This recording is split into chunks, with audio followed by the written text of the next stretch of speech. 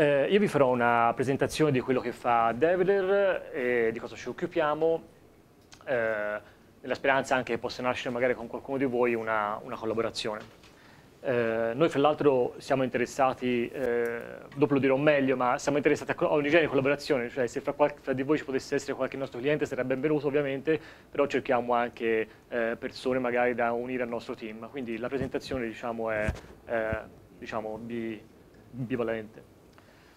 Ok, come ho detto ci occupiamo di eh, sviluppo software, non ho detto che ci occupiamo anche di progettazione elettronica, eh, questo è un nostro una cosa doppia che facciamo, praticamente nella, nella realizzazione di un prodotto eh, riusciamo a vederlo un po' a 360 gradi, quindi dalla progettazione elettronica, la realizzazione di piccole, di piccole quantità anche di, di, di dice, eh, sviluppo del sistema operativo che ci va sopra, sviluppo delle applicazioni tipicamente con Qt oppure ehm, tipicamente con Qt devo dire, però diciamo ci sono anche altre tecnologie, dopo, dopo spiegherò. Eh, vabbè, stiamo qui di Firenze, qui in zona, Abbiamo cominciato nel 2001, quest'anno abbiamo compiuto 10 anni di attività, quindi un'attività consolidata, siamo una trentina di persone, queste 30 persone sono quasi tutti sviluppatori, a parte io che ormai non me ne occupo più tanto, un paio di segretari, un ragazzo che si occupa del marketing, diciamo sono tutti sviluppatori o progettisti elettronici, quindi è un'azienda fortemente eh, basata sulle eh, competenze tecniche e sullo sviluppo del software e la progettazione elettronica come sapete ci sono anche aziende ribaltate dall'altra parte, no? che hanno tutta una grossa fetta di eh, diciamo, uh, marketing commerciale e quant'altro e poi ci sono anche gli sviluppatori. Ecco, noi siamo ribaltati nell'altro nell senso. Abbiamo realizzato chiaramente tantissimi progetti, 150 credo che sia una stima, ma ovviamente eh, per difetto. Abbiamo tanti clienti, questi 40 che ho citato sono 40 clienti attivi, cioè abbiamo 40 clienti con cui abbiamo attualmente un rapporto di continuità. Chiaramente poi nel passato ce ne sono stati molti di più, alcuni li abbiamo persi per strada, e però molti ci piace dire li abbiamo portati avanti perché eh, nel nostro lavoro, come immaginate, voi fate più o meno lo stesso lavoro che facciamo noi o comunque cose analoghe, sapete che spesso i clienti ci li portiamo dietro a lungo, insomma, perché tornano e tornano e a noi piace dire che i nostri insomma, abbastanza frequentemente tornano a, a lavorare con noi. Um, ci occupiamo dello sviluppo software, come vedete, un po' da, da, da, da tutti i livelli, quindi eh, la, la, pianificazione dello sviluppo, customizzazione di software, eh, consulenza in questo ambito, corsi, eh, di cui vi parlerò anche, anzi abbiamo un paio di corsi su Qt proprio che organizziamo nelle prossime settimane, dopo vi, vi dirò qualche dato, in, qualche, qualche dato in più. Facciamo progettazione elettronica, come vi dicevo, quindi progettazione elettronica di vario livello, piccolissimi dispositivi per farvi capire dove non riuscirebbe a girare nemmeno Linux o Windows, quindi eh, non, tantomeno Qt, quindi però dispositivi molto piccoli, fino a dispositivi un po' più grossetti su cui si riesce a far girare o Linux o Windows e quindi a quel punto noi usiamo Qt su queste piattaforme. Eh, poi implementazione dell'hardware fino a fare piccole prototipizzazioni, eccetera, piccole produzioni. Questo grafico ho scordato di aggiornarlo, eh, vabbè, comunque rappresenta un po' la crescita da Dever, da in 10 anni è cresciuta molto, se dovessi aggiornarla adesso arriverebbe circa un po' sopra growth, insomma, lì, quella, quelle parti lì. Eh, siamo molto vocati all'open source, sin dall'inizio, da 10 anni che siamo aperti, sono 10 anni che siamo vocati all'open source. Le persone che assumiamo hanno tutti una qualche tipo di esperienza nel mondo dell'open source, eh, come avete visto Giovanni, il mio, mio socio, perfettamente, no, conosce molto bene il tema eh, delle licenze, per esempio, e ehm, siamo appunto eh, spesso diamo, eh, contribuiamo a eh, progetti open source e incentiviamo i nostri collaboratori dipendenti a eh, lavorare nel mondo open source. Tant'è anche che eh, diciamo, ehm, retribuiamo ai nostri dipendenti una parte del lavoro che loro fanno su progetti open source che non c'entrano magari niente con noi o che, a, a non, per i quali noi non veniamo pagati, insomma, però incentiviamo i nostri dipendenti a eh, eh, diciamo, collaborare al progetto open source proprio perché vogliamo rimanere in questo mondo, essere sempre più in questo mondo. Uh, oltre al C++, che è una delle nostre tecnologie principali, l'altro nostro linguaggio preferito, più usato di tutti, è il Python. Uh, come, se, come, sapete o forse saprete, uh, Python e Qt vanno abbastanza a braccetto, con PyQt, la libreria PyQt, quelle che almeno quelle che usiamo noi,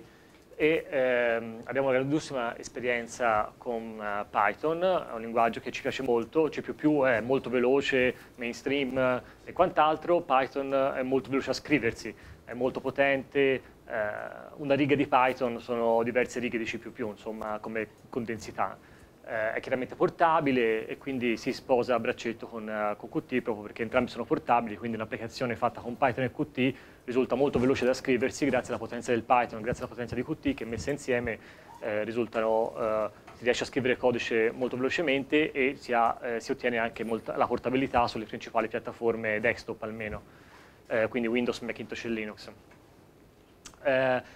come vi dicevo, siamo abbastanza attivi nell'organizzazione di conferenze tecniche, tant'è che abbiamo cominciato già 4 anni fa, 5 anni fa, 5 anni fa a realizzare la conferenza nazionale sul Python, che è il PyCon, Python Conference. Ha avuto un grande successo, abbiamo avuto fino a 400 partecipanti eh, da tutta Italia, eh, abbiamo avuto qui a Firenze eh, l'ideatore del, del, Python, che è Guido Barrossum, quindi un bel evento, tanto bello che l'anno scorso ci siamo incaricati di organizzare anche eh, eh, l'EuroPython, cioè la conferenza europea sul Python, che è itinerante, ogni due anni gira in Europa eh, e l'abbiamo avuto per due anni in Italia l'anno scorso e nel 2012 la faremo di nuovo qui a Firenze, questo EuroPython, eh, a luglio. Se andate sul sito lo trovate, eccetera. Um, solo per citarvi dei dati, l'anno scorso sono venute 700 persone da tutta Europa ed anche, dalle, anche da fuori Europa, c'erano giapponesi, statunitensi, australiani, insomma un bel evento. Insomma, in, Italia non ce ne sono tantissimi eventi internazionali sul software di queste dimensioni, quindi siamo particolarmente orgogliosi di, questa, di questo successo. Ok, come vi dicevo ci occupiamo di eh, progettazione elettronica. Eh, su, disp su dispositivi talmente piccoli su cui non può girare Linux e quindi tantomeno nemmeno uh, Qt, uh, noi facciamo girare un sistema operativo che ci siamo realizzati. Ce ne sono mille, però open source e closed source, però sai, ognuno gli piace far da sé e eh, soprattutto abbiamo realizzato qualcosa che pensavamo non ci fosse nel panorama dei sistemi embedded precedenti. Si chiama Bertus, è un sistema operativo real time appunto per dispositivi relativamente piccoli, sul sito poi trovate tutte le piattaforme che supportate e la differenza rispetto mh, è, è, è, la, è, una licenza GPL no? modificata, quindi mh, poi per la licenza vi risparmio i dettagli in questa sede, però diciamo eh, è un um, sistema operativo che se voi conoscete un po' il mondo dell'open source diciamo embedded eh, potrebbe essere paragonabile a, a FreeRTOS come tipologia di sistema. Eh, FreeRTOS ha la caratteristica però di essere soltanto un kernel, quindi voi dovete poi svilupparci tutto intorno, avete bisogno di un driver, eh, so, networking, controllo di un motore passo passo, eh, che ne so, controllo di un display, eh, ma anche librerie, tipo avete bisogno di una libreria eh, di qualsiasi genere di, mm, eh, di sviluppare, diciamo, per sviluppare più velocemente, dovete trovare questi oggetti su internet, assicurarvi di avere una licenza compatibile con eh, quella di, di FreeRTOS e poi cercare di scrivere tutto il codice colla che serve per, in, per far funzionare il tutto. Differentemente eh, Bertos sulle poche piattaforme che supporta le supporta mh, mm, molto bene, cioè ha di contorno tutte queste cose qua. Quindi quando voi portate una, una, un software scritto su Bertos da una piattaforma ad un'altra, vi trovate già tutto il pacchetto di compatibilità di tutte le librerie, i driver e quant'altro quello che vi può servire. Quindi eh, pensiamo di aver eh, aggiunto nel panorama del, del, del, sistema operativo open source eh, real time, di aver aggiunto un, un tassello che mancava, cioè un sistema operativo real time open source che abbia con sé anche tutte le librerie e driver per tutte le piattaforme che supporta. Eh, come vi dicevo, siamo attivi nelle... Eh, vabbè, la cosa principale che facciamo è lo sviluppo del software,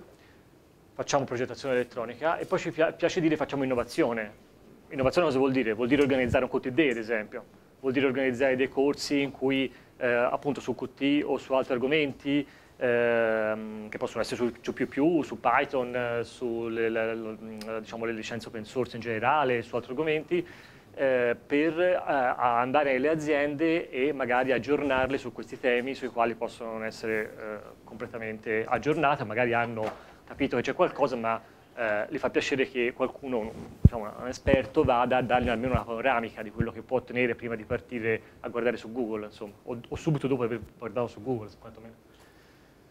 Um, vabbè, quello che potete immaginarvi che fa un'azienda che sviluppa software, eh, facciamo la progettazione e l'implementazione, facciamo la modifica di software esistente, quindi in aziende in cui eh, c'è già del software magari scritto da tanti programmatori, eh, sapete che eh, entrare con la testa no, in un software già esistente non, può, non lo può fare, cioè, lo, può fare lo può fare chiunque, ma di solito non una figura junior, insomma, ci vuole comunque esperienza. Noi abbiamo tante persone con questa esperienza e quindi lo facciamo abbastanza spesso. Eh, applicando buone tecniche di refactoring, anche un codice vecchio si riesce progressivamente, senza buttarlo via, si riesce abbastanza spesso progressivamente eh, a rendere migliorabile, no? con piccoli sforzi continui, senza dover buttare via il vecchio codice e ricominciare da capo. Dipende dai casi, eh? ci sono dei casi terribili, però diciamo, spesso, spesso ci riusciamo, insomma. Mi saranno capitati anche casi terribili. Um, ok, siamo, diciamo, tutto il software che noi realizziamo, tipicamente il nostro cliente ce lo chiede per una piattaforma, massimo due, insomma, difficile che ci chieda un software completamente multipiattaforma, però noi per abitudine lo sviluppiamo sempre multipiattaforma, cioè svilupp quando sviluppiamo un software che, che usiamo C++, che usiamo mh, Python, in ogni caso usiamo Qt, eh, questi strumenti ci consentono di farlo multipiattaforma, quindi il viene, tutto il software che scriviamo viene di natura multipiattaforma, dopodiché tipicamente lo lasciamo solo per la piattaforma che interessa il nostro cliente, però lui sa che con un altro 5% di lavoro si riesce ad aggiustare quelle quattro cose che servono a farlo girare su un'altra piattaforma. Come sapete Qt è molto potente in questo, quindi se voi sviluppate un'applicazione con Qt per una piattaforma abbastanza velocemente, diciamo, dovete ritoccare qualcosina, però quasi subito è, è portabile sulle altre piattaforme. E noi, diciamo, quasi subito lo facciamo su richiesta, però tutto il resto lo facciamo, lo facciamo di default. Ecco. Eh, vabbè, da quanto riguarda l'hardware facciamo questa attività qui, quindi la, eh, la, la, la progettazione elettronica, eh, ah, facciamo anche svecchiamento di hardware, quindi eh, ci sono a volte dei, ci arrivano dei clienti con delle schede degli anni 80 con dei condensatori alti così altri processori che mai avevo visto e la, e a volte semplicemente li facciamo refactoring. Questo vuol dire a volte fare anche reverse engineering di quello che è stato fatto, no? perché spesso non hanno il codice d'urgente, il manuale, la documentazione, non c'è nulla, c'è solo la scheda, ce la danno. Eh. Cerchiamo di capire cosa faceva, accendendola, insomma, reverse engineering, produciamo appunto la, la, la documentazione a partire dalla, dal, dalla la, la, documentazione tecnica a partire dalla scheda invece di, di, produrre la scheda a partire dalla documentazione tecnica. Una volta abbiamo documentazione tecnica, a quel punto riprogettiamo la scheda per i nostri clienti. Eh, ok, e questo è quello che vi dicevo, cioè su sistemi piccolini usiamo il nostro Vertus, su sistemi più grossi usiamo Linux,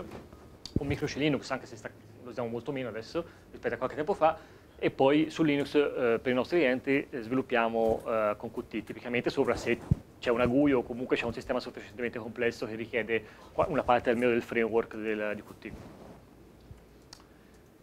Um, come vi dicevo, facciamo, cerchiamo di, di, proporre sempre innovazione ai nostri, ai nostri clienti e ehm, eh, diciamo, utilizziamo molte, eh, a differenza di molti nostri concorrenti, utilizziamo un eh, sistema di ehm, diciamo, colloquio con i nostri clienti che è molto aperto. Abbiamo rubato alcune, tec alcune tecniche diciamo, dal mondo open source, per cui per ciascuna commessa che viene, ci viene commissionata noi eh, realizziamo una, una, mettiamo in piedi una, eh, una mailing list. Sapete che molti progetti open source vengono coordinati completamente tramite strumenti online, tipicamente una mailing list in cui tutti possono discutere no, di quello che succede. E noi facciamo questo, cioè nostri, il, quando un cliente ci chiede di sviluppare un software, noi eh, eh, mettiamo su questa mailing list in cui sono iscritti tutto il nostro team, non, non tut, cioè tutto il team dedicato a quel cliente e i, eh, i tecnici quel, del nostro cliente. Quindi il nostro cliente può discutere in quella mailing list di tutte le questioni tecniche che riguardano il progetto e essere il primo lui a suggerire soluzioni tecniche se è un cliente diciamo, che ha le competenze tecniche ed è in grado di eh, appunto dare un contributo tecnico lui stesso. Quindi è molto aperto come tipo di approccio, non è una eh, ci vediamo fra sei mesi con, ehm, ci vediamo fra sei mesi con, eh, con il software fatto, ma eh, lavoriamo insieme in questi sei mesi finché il software non sarà fatto. Eh, ci sono tutti altri strumenti di collaborazione eh, online che adesso non, non, vi sto a raccontare per motivi di lungaggine, però avete capito il tipo di, eh, di approccio. Tra l'altro ehm, tutto il software che viene committato no, nel nostro repositorio di sorgenti ehm, viene anche elaborato da uno script automatico che abbiamo che manda in diff, i diff, cioè le differenze del, del software il software prodotto li manda in, uh, nella mailing list stessa. Quindi il cliente può vedere giorno giorno i diff prodotti da ciascun programmatore che noi eh, abbiamo messo sul progetto. E questo dà una, anche il cliente, abbiamo dei clienti francesi che a distanza di non so quante migliaia di chilometri comunque hanno una percezione giorno giorno di quanto software noi stiamo producendo per loro. E questo è un valore tipicamente per i nostri clienti. Oltre a questo ci sono altri strumenti, poi magari se volete giù al banco della Develer potete, potete sapere di più. Usiamo Qt da tantissimo, dal 2002, e lo, usiamo, lo usavamo già sul, sul Linux eh, a suo tempo, eh, prima che ovviamente fosse comprato da Nokia, eccetera, quindi siamo, abbiamo una lunga esperienza. Abbiamo esperienze con più o meno tutte le piattaforme, Windows, eh, Linux, diciamo X11, Mac e chiaramente nel mondo embedded. Eh, vabbè, usiamo PyQt dal 2004, come vi ho detto molto velocemente eh, le cose che ho detto prima, PyQt è uno strumento molto potente per i motivi che vi ho eh, spiegato prima. Insomma. Vi volevo presentare qualche, qualche, caso di progetti che abbiamo realizzato, un po' perché siamo molto orgogliosi di quello che facciamo, un po' perché vi, vi faccio vedere anche le potenzialità, per chi non le conosce fra di voi, le potenzialità di Qt e le potenzialità di PyQt, cioè della, della, della unione, del matrimonio direi fra Python e Qt. Questo è un prodotto sul quale stiamo lavorando molti anni, da molti anni con un nostro cliente che realizza macchine da taglio, sapete, per tagliare la pelle, per realizzare le scarpe. Eh, quel, quel macchinone da 150.000 euro viene accompagnato da un softwareino, che è un CAD. Questo softwareino costa più del macchinone ovviamente, perché l'abbiamo realizzato in 5 anni, credo, cioè una cosa ci è voluto tanto tempo, un intero CAD, come potete immaginare AutoCAD per capirvi, a quel grado di complessità, no, voglio dire, però insomma a, a guardarlo da fuori sembra, sembra, sembra, avere quel grado di complessità. E, ed è un CAD molto complesso, eh, non poteva essere usato AutoCAD perché è un CAD per le scarpe è diverso da un CAD tecnico, eh, se voi pensate, se voi zoomate un, in un CAD tecnico questo eh, banalmente eh, scala tutto in maniera proporzionale, no? mettere un piede non scala in maniera proporzionale, cioè se voi cambiate taglia dalla 42 alla 45 il piede non, non scala proporzionalmente, l'anatomia umana non è fatta così. Quindi banalmente solo per risolvere questo problema serve un CAD dedicato, comunque una funzione dedicata. E, oltre a questo ci sono un sacco di concetti interni tipici del problema. Comunque tornando alle questioni tecniche, è un software che poteva, che poteva essere scritto in, in C++, il 99% dei CAD al mondo è scritto in C++ perché è il linguaggio giusto per farlo e noi l'abbiamo fatto in Python invece. Questo ci ha, ci ha reso possibile eh, lo sviluppo molto più velocemente. Tutta la GUI, questa è una versione di qualche anno fa, quindi ha molti meno bottoni, ma ora è molto più complessa, tutta la GUI è fatta in Qt. Tutta la parte di eh, gestione diciamo, della GUI è fatta in Python, quindi con la mh, potenza e la densità diciamo, di, eh, del Python, e tutta la parte interna che si vede un po' maligna di disegno tecnico è fatta con OpenGL, perché chiaramente è accelerata in modo tale da avere tutti i vantaggi dell'accelerazione grafica che OpenGL offre. Quindi una, queste tre tecnologie vanno facilmente a passeggio e noi diciamo, abbiamo una bella esperienza su questa cosa. Se dovete fare una cosa del genere sono tecnologie che consigliamo. Diciamo. E beh, qui vi ho già detto tutto quello che vi ho già detto. Ok. Questo era un altro caso di un software analisi medica fatta con Qt, eh, con PyQt in realtà. Vi risparmio qualche dettaglio, però abbiamo, eh, abbiamo diciamo, usufruito dell'internazionalization dell no, che, la, che, la, Qt offre, che è molto utile in questo caso. Eh, database interaction, vabbè, tutto quello che sapete che Qt fa bene, insomma. Questo è un altro caso che ci piace molto, eh, è un nostro cliente che sviluppa una, um, un sistema di domotica e praticamente sistema di domotica basato su Linux, eh, quindi praticamente eh, in casa avete un sistema embedded ehm, Linux, con Linux sopra, con un touchscreen 3 pollici e mezzo e tutto il software che ci gira sopra eh, diciamo, è fatto con Qt e questo vabbè, è una semplice schermata di gestione della temperatura in una stanza, però potete immaginare la complessità della cosa. Tra l'altro adesso stiamo portando questo software su un display da 10 pollici, facendo tutto il porting eh, del, dell'interfaccia con eh, nel contempo aggiornando Qt e quant'altro. Quindi questo è un caso tipico di applicazione che noi facciamo. Un'altra cosa simile a questa, per esempio, è la, eh, per un altro nostro cliente che fa inverter, per la produzione di energia elettrica, insomma, sì, diciamo, la produzione di energia elettrica con i pannelli solari, questo inverter ha a bordo un sistema embedded molto simile a questo, touchscreen 3 pollice e mezzo Linux Qt, col quale uno può controllare cosa sta facendo l'inverter e quant'altro. Quindi queste sono un po' le tipiche applicazioni che noi realizziamo. Fa quello che vi immaginate possa fare una roba di domotica, home control, touchscreen interface di cui ho parlato. Di nuovo l'internalizzazione è fondamentale perché azienda francese con sede in Italia, vende in tutto il mondo, Sud America, eccetera, chiaramente deve essere in più lingue, quindi la potenza di Qt in questo aiuta molto. Ho finito, eh, noi siamo qui eh, a Firenze, vi volevo soltanto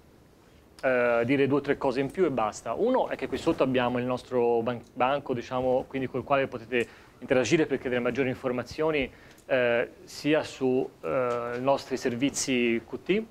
sia su Bertos, come vedete c'è un banchino di Bertos, sul lato c'è Arale, che è nostra, il nostro robot controllato da Bertos, e qui sotto cammina, lo potete anche far camminare twittando su Twitter, quindi vedete un po' le potenzialità. E ehm, come, vi, come, vi, confermo, siamo alla ricerca sempre di persone da inserire nel nostro, nostro team qui di Firenze, quindi anche questo, se a qualcuno di voi conoscete qualcuno che può essere interessato, mandateci pure un'email a jobs.deviler, cerchiamo ogni figura professionale, soprattutto programmatori, ma eh, anche, anche, per esempio project manager, commerciale e quant'altro. E poi vi volevo dire che praticamente nelle vostre borse avete questo, eh, questo Deplian che, parla, che diciamo, eh, illustra due corsi che noi faremo su Qt uno là fra due settimane e uno fra tre settimane dovrebbero essere, comunque c'è scritto qui, febbraio, uno a febbraio e uno a marzo. Sono corsi Qt di due livelli, il primo è proprio basic, quindi chi vuole iniziare a imparare a programmare con Qt, e l'altro invece su Qt Quick, e quindi eh, tutte le potenzialità che Qt Quick può dare per rendere le vostre applicazioni ancora più accattivanti, no? specialmente l'embedded. Noi lo stiamo usando, lo stiamo cominciando a utilizzare Qt Quick con successo in alcuni ambiti, anche quelli domotici ad esempio, e è veramente una cosa molto carina che vale la pena di, di vedere. Se vi interessano i nostri corsi trovate le informazioni qui. Grazie.